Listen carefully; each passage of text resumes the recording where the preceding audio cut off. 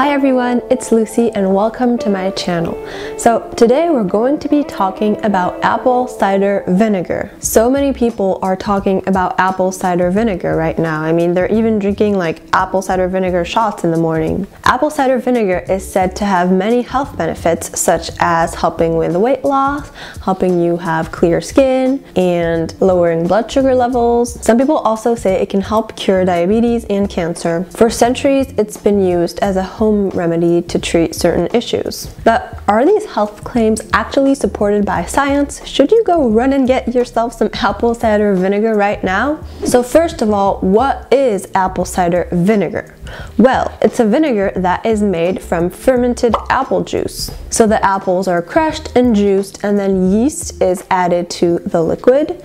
This will ferment the sugars in the juice into alcohol and then bacteria are added to the mix in order to turn the alcohol into acetic acid. The combination of yeast and bacteria that is formed during this process is called the mother, and this refers to the white strands of stuff floating around in the apple cider vinegar, and that's where you can get the health benefits from. So now we're going to look into the health benefits of apple cider vinegar. The first claim is that apple cider vinegar can help you lose weight. Indeed, studies have shown that vinegar, not specifically apple cider vinegar, can help with weight loss. A study conducted in Japan had obese people drink vinegar for 12 weeks. I mean, they either had 30 milliliters of vinegar, 15, or no vinegar at all. And it showed that the people who had taken the vinegar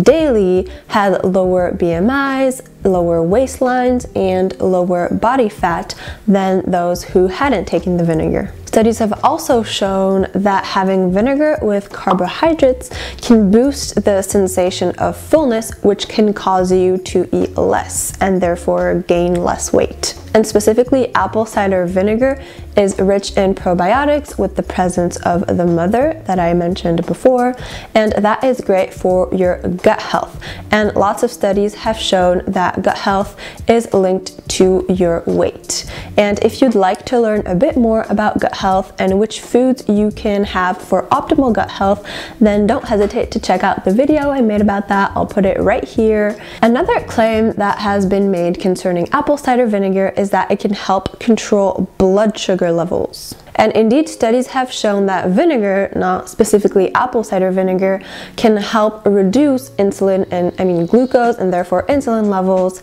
after a meal. And a study showed that people who had diabetes and who had some apple cider vinegar with their meals had lower blood sugar levels and improved insulin sensitivity. And this may be thanks to the acetic acid that is present in the apple cider vinegar, but that you can also find in other vinegars. Now, does apple cider vinegar help lower cholesterol levels? A study that was done on rats showed that those who consume dietary acetic acid, again, which is a, a big component of apple cider vinegar, had lower cholesterol levels. And basically the same thing was shown on rabbits as well. These are certainly interesting facts, but the studies were done on animals, and in order to be sure, we need to have studies done on humans. Some people even go as far as to say that apple cider vinegar can prevent cancer. While some studies may have promising results, nothing has been shown on humans, and apple cider vinegar absolutely cannot be recommended to prevent or let alone cure cancer.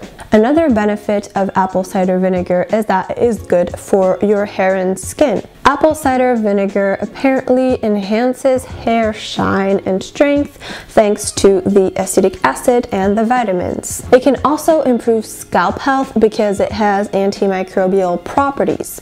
So if you want, you can mix some apple cider vinegar to your water and use that to rinse your hair after you're done shampooing and conditioning it. Some people also say that apple cider vinegar can help with wrinkles or acne or itchiness or anything like that. Simply dab some on a cotton ball and then put that where you need to on your skin, but don't forget to rinse it off. Now, I really want to mention that a lot of people have said that these hair and beauty claims are true with apple cider vinegar, but no scientific studies back these claims. So don't go buying apple cider vinegar only for your hair or your skin. If you enjoy apple cider vinegar and use it in your salads, then if you want, you can test out some on your hair and skin. So now where to get apple cider vinegar and where to use it. I know that a lot of people like to mix from a teaspoon to a few tablespoons of apple cider vinegar with water and then drink that on an empty stomach.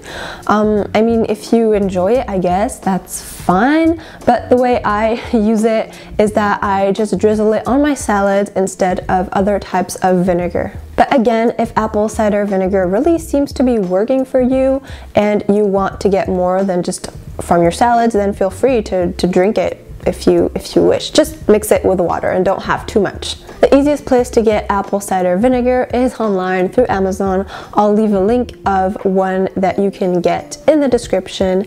And also if you want to get it locally, if you want to find it locally, make sure that the brand you buy is organic, raw, unfiltered, and contains the mother because that's what that's what will give you all of the optimal health benefits. And also Bragg's is a brand of apple cider vinegar that also incorporates apple cider vinegar in different types of juices if you really want to get some of the benefits and don't like the taste and if you just rather drink juice. So I'll leave that in the description as well. And are there any risks to drinking apple cider vinegar?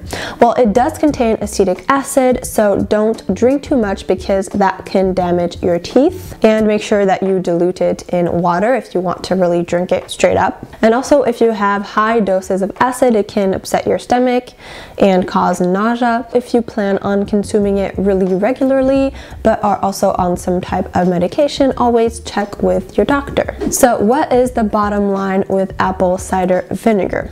Well, it certainly has some health benefits, but then again, other types of vinegar have these benefits as well.